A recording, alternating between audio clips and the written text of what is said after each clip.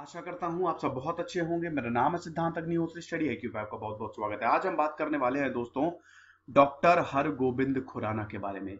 हर गोबिंद खुराना, जिन्होंने रेवोल्यूशनराइज कर दिया मेडिकल फ़ील्ड को फिजियोलॉजी में इनको नोबेल प्राइज मिला था। जेनेटिक इंफॉर्मेशन इन्होंने खोज के निकाल दी थी कि किस तरीके से जीन्स को आसानी से स्टडी किया जा सकता है। भैया, जो आज जेनेटिक इंजीनियरिंग हो रही है ना आज तो आप किसी भी कंपनी से आर्टिफिशियल जीन मंगा सकते हैं। वो हर गोविंद खुराना की वजह से हुआ है। इनको नोबेल प्राइज मिला था। और सबसे बड़ी बात यह है कि इनको हमारे देश ने भुला दिया, लेकिन पूरी दुनिया ने इनको बहुत सराहा है। तो आज हम बात करेंगे हर Gobind Khorana. Underscore E connect मेरा फेसबुक पेज है, सिद्धांत अग्निहोत्री मेरी फेसबुक प्रोफ़ाइल है। दोनों ही जगह लेक्चर की पीडीएफ ले सकते हैं, सवाल भी पूछ सकते हैं दोस्तों। हिंदी में भी पीडीएफ अवेलेबल हैं। आप स्टडी आईक्यू के ब्लॉग्स को विज़िट करिए, वहाँ पे आपको सारी फैकल्टी की हिंदी में पीडीएफ मिल जाएगी। हालाँकि मैं भी अपने प्रोफ़ाइल और पेज पे शेयर करता रहता हूँ। स्टडी आईक्यू के टैबलेट और पेन ड्राइव कोर्सेज हर एग्ज़ाम्स के लिए आते हैं। आप इन नंबर्स पे कॉल कर सकते हैं वेबसाइट विज़िट कर सकते हैं। हाल ही में हमने यूजीसी नेट कॉमर्स का कोर्स लॉन्च किया है दोस्तों। ये कॉम्प्रिहेंसिव कोर्स है और बहुत ही ज़्यादा इंपॉर्टेंट कोर्स है। अगर आप नेट एग्ज़ाम की तैयारी कॉमर्स सब्जेक्ट से करें तो आप इस कोर्स को ज़रूर अवेल करिए। तो दोस्तों, ये एक बहुत ही बढ़िया लिस्ट है। ये नोबेल प्राइज विनर्स की सीरीज़ चल रही है स्पेशली जो भारत के हैं। भारत के जिन्हों जिन्होंने नोबेल प्राइज जीता है, उनकी बायोग्राफी को हम कवर करेंगे। एग्ज़ाम के लिए कितना ज़्यादा इंपॉर्टेंट है, ये आप समझ ही सकते हैं। अक्सर एक सवाल पूछ लिया जाता है नोबेल प्राइज से। तो सबसे पहले हमने बायोग्राफी देखी थी रविंद्रनाथ टैगोर रविंद्रनाथ टैगोर की। लिटरेचर में 1913 में इनको नोबेल प्राइज मिला था और पार्ट वन पार्ट टू में लेक्चर है। लाखों लाखों लोग देख चुके हैं। आप भी देख लीजिए। सीवी रमन की फिर हमने बायोग्राफी स्टडी की थी। 1930 में इनको नोबेल प्राइज मिला था फिजिक्स भैया Raman scattering the Raman effect मैंने बहुत ही आसान तरीके से समझाया है। स्पेक्ट्रोग्राफी को इन्होंने पूरी तरीके से किस, कैसे उसको स्टडी करना है, खोज निकाला था। मदर टेरेसा की हम बायोग्राफी रिव्यू कर चुके हैं। एक पार्ट में लेक्चर है दोस्तों, आप देख लीजिए अवेलेबल है। 1979 में इनको पीस के लिए मिला था। थोड़ा सा ये एक्चुअली हर गोविंद खुराना को ऊपर आना चाहिए था बट कोई बात नहीं। हर गोविंद खुराना की बायोग्राफी आज हम देखेंगे। हर गोविंद खुराना को 1968 में फिजियोलॉजी या फिर मेडिसिन की फ़ील्ड में मेडिकल की फ़ील्ड में इनको नोबेल प्राइज मिला था। उसके बाद कैलाश सत्यार्थी की बायोग्राफी हम देख चुके हैं। 2014 में इनको पीस प्राइज प्राइज मिला था।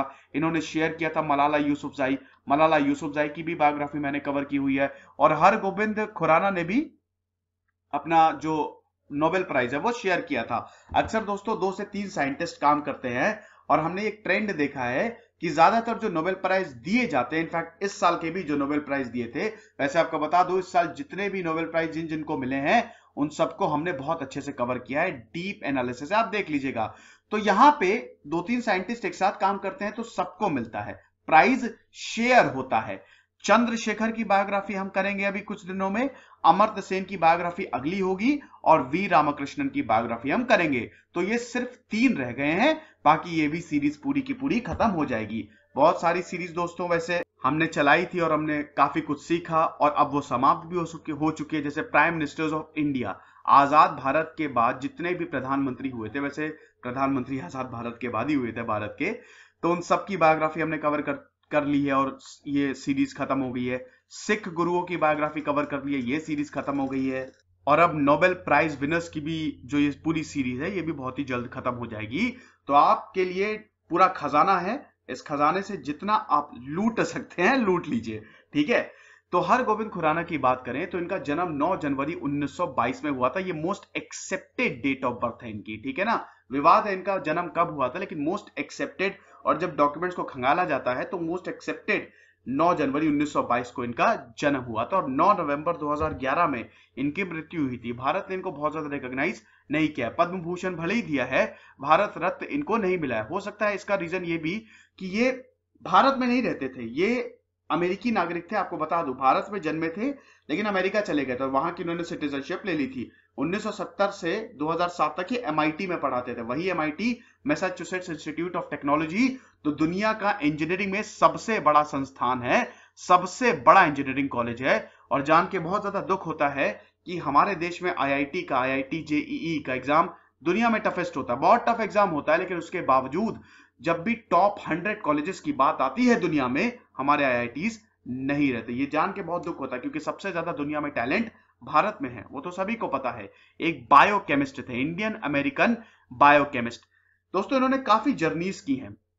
इन्होंने दुनिया की बड़ी बड़ी यूनिवर्सिटीज में शोध किया है रिसर्च की है, ठीक है ना? तो सबसे पहले भारत में थे ये। भारत में इन्होंने अपनी पढ़ाई पूरी की। उसके बाद फिर ये ब्रिटिश चले गए, इंग्लैंड चले गए, फिर वहाँ से स्विट्जरलैंड चले गए। स्विट्जरलैंड में इन्होंने शादी भी कर ली, स्विट्जरलैंड से फिर अमेरिका चले गए और फाइनली अमेरिका में ही इन्होंने पूरी रिसर्च शुरू की और उन्नीस सौ में इनको नोबेल प्राइज मिला, जो कि इन्होंने शेयर किया था निरेनबर्ग और हॉली के साथ मार्शल डब्ल्यू निरेनबर्ग और रॉबर्ट डब्ल्यू हॉली के साथ और इन दोनों ने मतलब ये पूरा एक कोऑर्डिनेटेड वर्क था, ठीक है? जो इन्होंने जेनेटिक कोड को खोज के निकाला। दोस्तों, आज हम साइंस के बारे में भी जानेंगे। न्यूक्लियोटाइड्स क्या होते हैं? लाइफ क्या होती है? डीएनए आरएनए क्या होता है? ये सारी चीज़ें भी देखेंगे। बहुत इंपॉर्टेंट है, ठीक है ना? तो अगर हम हर गोविंद खुराना की बात करें तो कृष्णा देवी और गणपत राय खुराना किया इनका जन्म हुआ था, रायपुर। छत्तीसगढ़ वाला रायपुर नहीं, पंजाब ज़िले में जो इस समय पाकिस्तान में है, वहाँ पे इनका जन्म हुआ था हिंदू परिवार में जन्म हुआ था। ये बताते हैं कि इनके पिताजी पटवारी थे, ठीक है ना? ब्रिटिश ऑफिसर, ऑफ़िस क्लर्क थे। अब दोस्तों, ऐसा है कि उस समय पैसा किसी के पास नहीं था, बहुत गरीबी थी भारत में, ठीक है ना? और जब ब्रिटिश छोड़ के गए थे, तब तो जो हमारी जीडीपी थी, वो तो माइनस में थी, ज़ीरो भी नहीं, माइनस में चली गई थी, वो पूरा लूट के चले गए थे। तो यहाँ पे पढ़ाई का बहुत अभाव था इतना आसान नहीं था, लेकिन उसके बावजूद इनके माता पिता ने यह सुनिश्चित किया कि इनके बच्चों को अच्छी एजुकेशन मिले। जितना हो सके इनके बच्चों को पढ़ाया जाए। इनके पिताजी पटवारी थे। आपको बता दूँ कि जिस गाँव में रहते थे, वहाँ पे वो सौ लोगों का गाँव था, ठीक है ना? वहाँ पे सब सौ लोग रहते थे और सौ लोगों में सबसे पढ़ी लिखी फैमिली इनकी थी। पढ़ने लिखने में बहुत ही अच्छे थे। इसलिए इनको ढेरों स्कॉलरशिप मिली और इन्हीं स्कॉलरशिप के बल पे इन्होंने अपनी पढ़ाई जो है वो पूरी की। शुरू में तो इनके, जो इनकी एजुकेशन थी, वो तो लोकल स्कूल में हुई और पहले चार साल तो ये पेड़ के नीचे पढ़ते थे। जी हाँ बिल्कुल गुरुकुल स्टाइल में। पहले के गुरु ऐसे ही तो करते थे ना, पेड़ के नीचे बैठ जाते थे और सारे छात्र नीचे बैठते थे और इस नेचर के साथ पढ़ाया जाता था, उनको और काफ़ी विद्वान भी होते थे। तो पहले चार साल ऐसे पढ़ाई की थी, हर गोविंद खुराना ने, जिन्होंने भारत का नाम रोशन किया। उसके बाद मुल्तान में ये डीएवी हाई स्कूल चले गए। Dayanand Anglo Vernacular high school, वहाँ पे डीएवी बहुत इंपॉर्टेंट स्कूल है। देश भर में इसकी ब्रांचेस हैं। वेस्ट पंजाब में है मुल्तान, आपको ये भी पता है। फिर ये पंजाब यूनिवर्सिटी में चले गए और बहुत ही अच्छे स्टूडेंट थे, इनको बहुत स्कॉलरशिप मिली थी। टीचर्स इनसे बड़े खुश रहते थे, बड़े शांत थे, ज़्यादा बोलते नहीं थे, गंभीर इंसान थे, ठीक है ना? उसके बाद 1943 में इन्होंने अपना बीएससी कंप्लीट किया और 1942 में इन्होंने अपना मास्टर्स कंप्लीट किया, ठीक है ना? इन्होंने एमएससी डिग्री 1945 और बीएससी 1943 में ली। अब एमएससी बीएससी एमएससी के बाद क्या? पीएचडी उस समय पढ़ाई का जो स्तर था दोस्तों, लोगों के पास खाना नहीं होता था खाने के लिए पढ़ाई तो छोड़ ही दीजिए। तो उस समय अगर पढ़ाई किसी के पास अच्छी खासी डिग्री होती थी उसकी बड़ी इज़्ज़त की जाती थी, ठीक है ना? और बदकिस्मत, बदकिस्मती ये है कि अगर किसी के पास बहुत अच्छी डिग्री होती थी, वो भारत में रहता भी नहीं था, वो बाहर ही चला जाता था, क्योंकि भारत में कुछ स्कोप ही नहीं था उस समय बिल्कुल भी स्कोप नहीं था। तो उसके बाद हर गोविंद खुराना चले गए ब्रिटिश हायर एजुकेशन के लिए, क्योंकि इंडिया में तो कोई कॉलेज खुले ही नहीं। अभी सीवी रमन तो काम कर रहे हैं ना आईएससी अभी बना कहाँ है? जब यहाँ पे साइंटिफिक कॉलेजेस साइंटिफिक कॉलेज खुलेंगे इंजीनियरिंग कॉलेज खुलेंगे तब उसके बाद भारत से भी खजाना निकलेगा। वैसे तो भारत से बहुत सारे खजाना निकले और एक खजाना चले गए ब्रिटिश। हम हर गोविंद खुराना की बात कर रहे हैं। तो वहाँ पे ब्रिटिश चले गए। वहाँ पे इन्होंने अपनी आगे की पढ़ाई की, ठीक है ना? अपनी पीएचडी कंप्लीट की। 1948 में इन्होंने अपनी पीएचडी कंप्लीट की। देख सक, देख सकते हैं ना दोस्तों? सिर्फ़ तीन साल में इन्होंने अपनी पीएचडी कंप्लीट कर ली। पीएचडी के बारे में बोला जाता है कि एक बार आ तो गए बेटा, लेकिन जाओगे कैसे? फंस जाता है इंसान, ऐसा बहुत सारे लोग बोलते हैं। देखिए हायर एजुकेशन के लिए आपको पीएचडी करनी ही पड़ेगी। और बहुत इंपॉर्टेंट भी है, जितनी भी आप टेक्नोलॉजी देख रहे हैं, जो भी आप टेक्नोलॉजिकल एडवांसमेंट देख रहे हैं, जो आप देख रहे हैं, आपके हाथ में मोबाइल आप देख रहे हैं कि प्लेन हाईटेक प्लेन्स डेवलप हो रहे हैं मेडिकल साइंस में बहुत कुछ डेवलप हो रहा है, वो इसीलिए हो रहा है क्योंकि लोग रिसर्च कर रहे हैं। बहुत सारे ऐसे स्टूडेंट हैं जो पीएचडी कर रहे हैं क्योंकि रिसर्च के बिना डेवलपमेंट नामुमकिन है। तो एक तरीके से पीएचडी सबसे इंपॉर्टेंट होती है और सबसे हाईएस्ट एजुकेशन होती है, ठीक है ना, बड़ी इज़्ज़त की जाती है, हाईएस्ट स्टेटस मिलता है पीएचडी फेलोज को। लेकिन प्रॉब्लम ये है कि भारत में एक बार पीएचडी शुरू हो जाती है तो खत्म ही नहीं होती, वो चलती ही जाती है। इसको बिल्कुल रिफाइन करना पड़ेगा और पीएचडी स्टूडेंट्स पीएचडी फेलोज को अच्छी खासी फेलोशिप भी देनी पड़ेगी। हमारे यहाँ पे ये दिक्कत है, जो पीएचडी करता है, उनको फेलोशिप्स नहीं मिलती हैं। पैसा नहीं मिलता, या तो आप नेट जीआरएफ निकालें नेट वालों को भी पैसा नहीं मिलता है जीआरएफ ही निकालें। तो एक तरीके से एजुकेशन रिफॉर्म्स लाने भारत में बहुत ज़्यादा ज़रूरी है, वरना भारत के खजाने बाहर जाते जाएँगे। याद रखिएगा, बाहर जाएँगे वो और फिर वहीं के लिए काम करेंगे। तो ऐसा नहीं होना चाहिए। तो इन्होंने अपनी पीएचडी तीन साल में कंप्लीट की, बहुत ही कम टाइम में। देख सकते हैं आप कितने ब्रिलियंट थे 1948 में इनकी पीएचडी कंप्लीट हुई। डॉक्टर आगे लग गया। उसके बाद दोस्तों, भारत आए, भारत में इनको ज़्यादा काम नहीं मिला, कुछ नहीं था उस समय भारत में। वापस इंग्लैंड चले गए।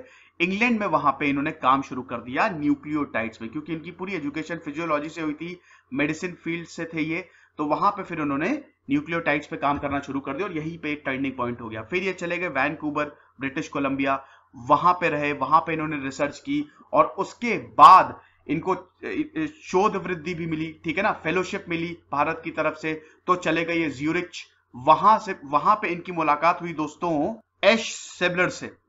एश सेबलर जो उनकी, इनकी पत्नी भी बनी। ये सांसद की बेटी थी और खुद भी एक साइंटिस्ट थी और इनके तीन बच्चियाँ हुई, ठीक है? तीन बेटियाँ हुई, ठीक है ना? तो ये चीज़ थी। और ये ज्यूरिक में चले गए, वहाँ पे रिसर्च की। तो पूरी दुनिया घूमी। साइंस वाले लोग पूरी दुनिया घूमते हैं। अक्सर बोला जाता है कि, अरे भैया साइंस नहीं पढ़नी मुश्किल होती है। वैसे मैं बताना चाहता हूँ कि अगर साइंस में इंटरेस्ट ना हो तो सिर्फ़ लोगों को दिखाने के लिए साइंस मत लीजिए, क्योंकि साइंस टफ होती है। पढ़ेंगे तो सब कुछ आसान होता है। उसके बाद 1960 में ये एंजाइम रिसर्च इंस्टीट्यूट में इन्होंने डायरेक्ट को डायरेक्टर की पदवी को स्वीकार किया।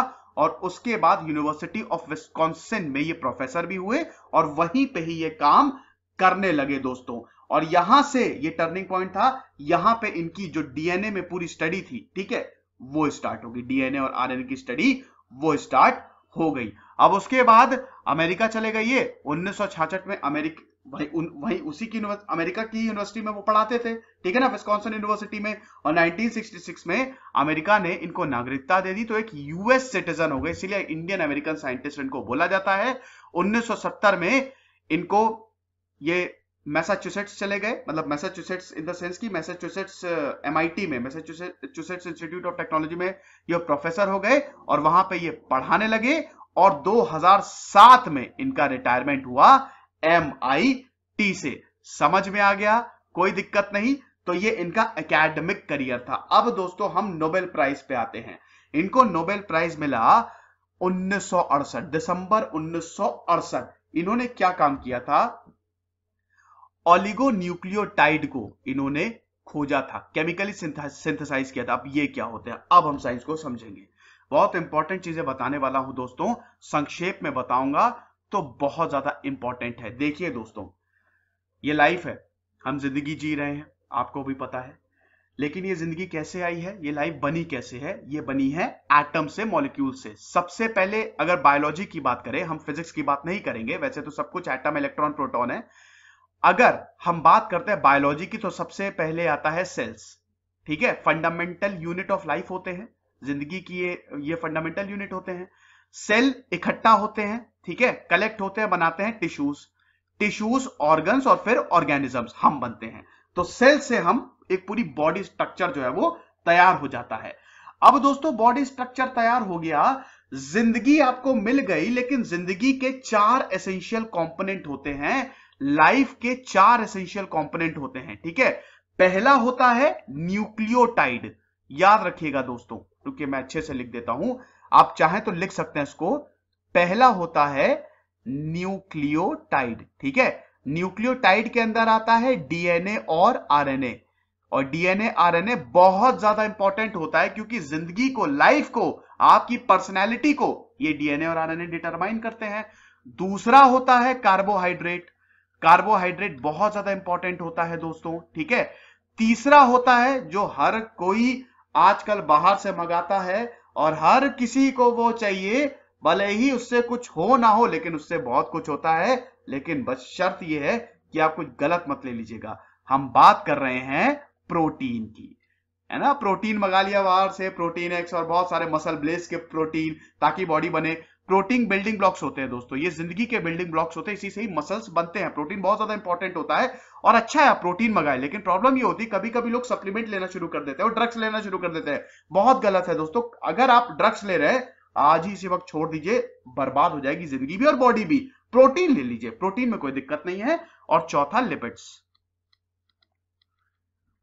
ये चार चीज़ें होती हैं।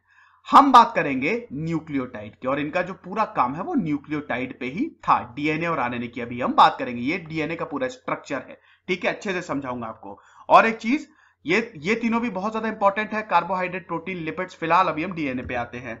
अब दोस्तों, अब, अभी हम, मैंने आपको बताया कि सबसे पहला एसेंशियल एलिमेंट क्या होता है? न्यूक्लिक एसिड न्यूक्लिक एसिड क्या होता है? देखिए दोस्तों nucleic acid are the polymers essential for life ये पॉलीमर्स होते हैं। पॉलीमर क्या होता है? पॉलीमर को समझने के लिए मोनोमर समझना पड़ेगा मोनोमर को समझने के हाइड्रोकार्बन समझना पड़ेगा। इस दुनिया में हर चीज़ हाइड्रोकार्बन है दोस्तों, जो लिविंग ऑर्गेनिजम्स है। अगर केमिस्ट्री की बात करें तो वो दो में डिवाइड है ऑर्गेनिक और एरोऑर्गेनिक ऑर्गेनिक मतलब जिसमें लाइफ है, ठीक है? जो ऑर्गन्स है, जहाँ से सब कुछ ऑर्गेनिजम्स डेवलप होते हैं। तो अगर ऑर्गेनिजम्स या किसी को ज़िंदगी मिल रही है तो उसमें होते हैं हाइड्रोकार्बन जिसको ऑर्गेनिक केमिस्ट्री बोला जाता है। हाइड्रोकार्बन मतलब हाइड्रोजन और carbon C H C H three C H four methane, ethane, इसको कहते हैं हाइड्रोकार्बन। अब अगर इन मॉलिक्यूल्स की सिंगल चेन है, ढेर सारे C H C H C H C H लगाते जाइए और एक चेन बनाइए, ठीक है ना?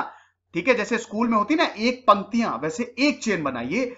अगर इस तरीका है तो इसको कहते हैं मोनोमर्स और अगर ढेर सारी पंक्तियाँ हैं मतलब बहुत सारे मोनोमर्स आ गए हैं तो इसको कहते हैं पॉलीमर तो डीएनए और आरएनए पॉलीमर्स होते हैं, जो ऑर्गेनिक सब्सटेंस होते हैं, जो एमिनो एसिड्स होते हैं, जो हाइड्रोकार्बन होते हैं, जो मोनोमर्स होते हैं, मोनोमर्स हाइड्रोकार्बन से ही बने होते हैं तो ये इकट्ठा होते हैं और पॉलीमर्स बनाते हैं, ठीक है ना?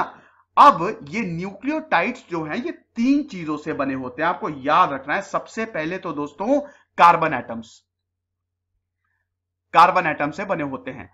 ये पहली चीज़। दूसरा फॉस्फेट शुगर ये दोस्तों एग्ज़ाम में बहुत पूछा जाता है फॉस्फेट शुगर और तीसरा, सबसे इंपॉर्टेंट नाइट्रोजीनियस बेस तो ये मिलके न्यूक्लियोटाइड्स बनाते हैं।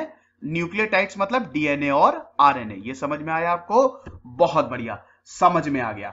अब दोस्तों डीएनए और आरएनए पे आते हैं। दो तरीके के न्यूक्लियोटाइड्स होते हैं। डीएनए डीऑक्सीराइबो न्यूक्लिक एसिड और एक आईने ribose nucleic acid.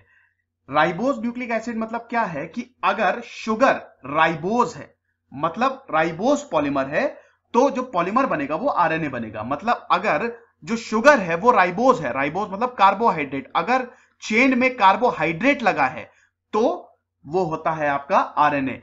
और अगर डीऑक्सीराइबो लगा है, दो ऑक्सीजन ग्रुप लगे हैं, ठीक है तो उसको कहते हैं हम डीएनए। तो ये बेसिक डिफरेंस है। वैसे तीन और डिफरेंस है, वो भी आपको बताना चाहूँगा। सबसे पहले तो दोस्तों, अगर डीएनए और आरएनए की बात करें तो तीन इसके पॉइंट ऑफ़ डिफरेंस है, ठीक है?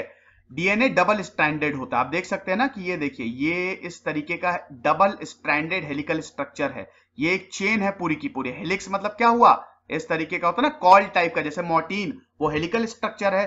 तो इस तरीके से टेढ़ा मेढ़ा, ये एक चेन है और दूसरी चेन आप ये देख रहे हैं। इसी तरीके से होता ना डीएनए बिल्कुल ऐसे ही होता है। तो ये डबल स्ट्रैंडेड होता है आरएनए डबल स्ट्रैंडेड नहीं होता है आरएनए सिंगल स्ट्रैंडेड होता है, ठीक है ना? तो आरएनए की चेंज जो होती है, वो शॉर्ट होती है। दूसरी चीज़ अभी मैंने बताया शुगर जो होती है, वो राइबोज होती है। आरएनए में राइबोज होती है राइबोज मतलब कार्बोहाइड्रेट और डीएनए में डीऑक्सीराइबोज होती है, ठीक है? और ये जो आप चेन देख रहे हैं ना, ये सब एमिनो एसिड्स की बनी हुई है। एमिनो एसिड मतलब नाइट्रोजन और हाइड्रोजन ठीक है ना? अभी मैंने आपको बताया ना कि जो न्यूक्लियोटाइड्स है, वो किस चीज़ के बने होते हैं? समझ गए? कोई प्रॉब्लम नहीं है। और तीसरा इंपॉर्टेंट ये होता है कि जो चार नाइट्रोजीनियस बेसेस होते हैं ना आरएनए में चार बेसेस कौन कौन से होते हैं दोस्तों? एडिनाइन साइटोसिन ग्यूआनाइन और यूरेसिल डीएनए में होते हैं एडिनाइन साइटोसिन ग्यूआनाइन और थाइमीन ये चार बेसेस होते हैं नाइट्रोजीनियस बेस ठीक है ना? तो ये डीएनए और आरएनए में बेसिक फ़र्क होता है। अब डीएनए और आरएनए होते क्या हैं? भैया जेनेटिक इंफॉर्मेशन आप जो हैं, आपकी जो भी प्रॉपर्टीज़ है, वो क्यों है? क्योंकि आपके पिताजी ऐसे थे, आपकी माताजी ऐसे थी, आपके पिताजी, आपके माताजी की वजह से आपका जन्म हुआ। तो आप जो भी कर रहे हैं, जो आपका नेचर है, जिस तरीके से आपका बॉडी स्ट्रक्चर है, वो आपके पिताजी और आपके माताजी की देन है। उन्हीं दोनों का कॉम्बिनेशन है। उन्हीं दोनों के जीन से तो आप बने हैं ना तो आपके अंदर जेनेटिक इंफॉर्मेशन है। कहाँ से आई है? आपके पिताजी और माताजी के जीन से। और ये क्या होता है इसको कहते हैं हम डीएनए। तो डीएनए और आरएनए जेनेटिक इंफॉर्मेशन इनमें होती है। तो दोस्तों, अगर आपको कोई भी बीमारी है, कुछ भी है तो हम इसको स्टडी करके अच्छे से पता लगा सकते हैं। समझ रहे ना? तो ये बहुत ज़्यादा इंपॉर्टेंट होता है। आरएनए भी दोस्तों, तीन तरीके के होते हैं। Messenger RNA, transfer RNA, ribosomal RNA protein synthesis में इनका बहुत काम होता है। फ़िलहाल अभी हम उतना डीप में नहीं जाएँगे। एक्चुअली प्रॉब्लम ये होती है कि एक बार मुझे साइंस मिल जाती है तो मैं पता नहीं फिर कितना लंबा लेक्चर ले लूँ। अभी मैं इसमें हम नहीं जाएँगे, ठीक है ना? अभी आप इतना ही समझिए कि डीएनए और आरएनए क्या होती है? इन सब में जेनेटिक इंफॉर्मेशन होती है। किस तरीके के ऑर्गेनिज्म से की ग्रोथ होगी, कैसे वो रिप्रोड्यूस करेगा क्या क्या उसमें क्वालिटीज है, वो सब डीएनए को आप स्टडी कर लीजिए, सब कुछ मिल जाएगा। तो भैया, यहाँ पे इस डीएनए को अच्छे से स्टडी किया हर गोविंद खुराना ने और इन्होंने ऑलिगो न्यूक्लियोटाइड्स खोज के निकाल दिए। ऑलिगो न्यूक्लियोटाइड्स क्या होता है? शॉर्ट आरएनए और डीएनए होते हैं, ठीक है ना? इनका बहुत ही छोटा स्ट्रक्चर होता है, इसको कहते हैं ऑलिगो न्यूक्लियोटाइड्स बेसिकली दोस्तों, इसमें सीक्वेंसिंग होती है, ठीक है? डीएनए ना इसमें बहुत अरबों खरबों की सीक्वेंस होता है, ठीक है? हर मॉलिक्यूल एक सीक्वेंस में होता है तो इसको कोड किया जाता है, ठीक है ना? और जरा सी भी अगर सीक्वेंसिंग गलत हो जाए समझ लीजिए, करोड़ों में अगर एक भी सीक्वेंस गलत हुआ तो आपका पूरा बॉडी स्ट्रक्चर ही बर्बाद हो जाएगा। तो देख सकते हैं ना यूनिवर्स की क्रिएशन कितनी ज़बरदस्त है। तो कोडिंग होता है। उसी कोडिंग को आसान किया था हर गोविंद खुराना ने ऑलिगो न्यूक्लियोटाइड्स बनाने के लिए बनाया था इन्होंने। और यहाँ पे शॉर्ट आरएनए डीएनए बनाए थे, जिसको आप लैब में भी बना सकते हैं। तो एक तरीके से आरएनए और डीएनए को लेबोरेटरी में आप बना सकते हो। और अब तो ऐसी कंडीशन आ गई कि अगर आपको कोई जेनेटिक अगर आपको कोई जीन चाहिए तो आप कंपनी को फ़ोन लगाइए, वो आर्टिफिशियल जीन आपको भेज देगी। पैसे अच्छे खासे लगते हैं। तो इस तरीके की कंडीशन हो गई है। अगर आपको किसी स्टार का जीन चाहिए, अगर आपको मान लीजिए शाहरुख खान का जीन चाहिए तो सीधा फ़ोन लगाइए कि मुझे शाहरुख खान की जेनेटिक इन्फॉर्मेशन चाहिए तो वहाँ से वो आ जाएगा। जोक मार रहा था दोस्तों सीरियसली मत ले लीजिएगा, ये सिर्फ़ एक जोक था। ठीक है, लेकिन कंपनी से आप मंगा सकते हैं, ये सच बात है, ठीक है ना? तो ये चीज़ है। अब जो इन्होंने ओलिगो न्यूक्लियोटाइड खोज के निकाला, ये बहुत ज़्यादा लाभ देती है। कैसे? जेनेटिक इंजीनियरिंग जीन्स को कैसे समझना है?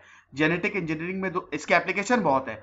जेनेटिक इंजीनियरिंग से दोस्तों हमको बहुत कुछ पता चलता है। हमको पता चलता है कि किस तरीके से हम जो बीमारियाँ होती हैं, उनको ठीक कर सकते हैं। ठीक है? क्योंकि कुछ ऐसी बीमारियाँ होती है ना, जो हमारे पिताजी या हमारे खानदान में चल रही होती है, वो चलती आती है, फिर ट्रांसफ़र होती जाती है। ठीक है ना?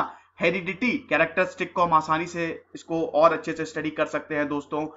क्लोनिंग कर सकते हैं। सबसे इंपॉर्टेंट और सबसे खतरनाक बात भी है क्लोनिंग वैसे बहुत ज़्यादा खतरनाक होती है दोस्तों। क्लोनिंग को बंद कर देना चाहिए और प्रॉब्लम ये कि अभी बहुत सारे क्लोनिंग स्टार्ट हो चुके हैं। ये सही नहीं है, ठीक है? किसी दिन हम और बात करेंगे, क्यों ये सही नहीं है? तो क्लोनिंग कर सकते हैं हम। जैसे मान लीजिए आपके बिल्कुल एज इट इज़ डुप्लीकेट इंसान को बना सकते हैं। बिल्कुल ऐसे ही काम करेगा जैसे आप काम करते हैं। तो बहुत सारे इसके एप्लीकेशन है दोस्तों।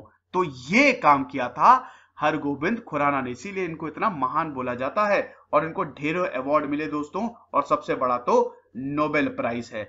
हर गोविंद खुराना 2007 में मैसाचुसेट से रिटायर हुए और नवासी साल की उम्र में 9 नवंबर 2011 में उनका निधन हो गया था। भारत ने तो भुला दिया दोस्तों, लेकिन इनको बाहर बहुत रिकॉग्निशन मिला है। अमेरिका और इंग्लैंड ने इनको काफ़ी ऑनर किया है। तो ये लेक्चर था दोस्तों हर गोविंद खुराना पे। नोबेल प्राइज ऐसा ही होता है दोस्तों, अगर किसी भी नोबेल लॉरेट पे मैं लेक्चर लेता हूँ तो मैं ये बताता हूँ कि उसको नोबेल प्राइज मिला क्यों? क्योंकि ये ज़्यादा जानना ज़रूरी है कि उन्होंने ऐसा क्या किया। आई होप आपको पसंद आया होगा, इसको ज़रूर शेयर करिए। खुश रहिए, पढ़ते रहिए सिद्धांत अग्निहोत्री साइनिंग ऑफ़ आशा करता हूँ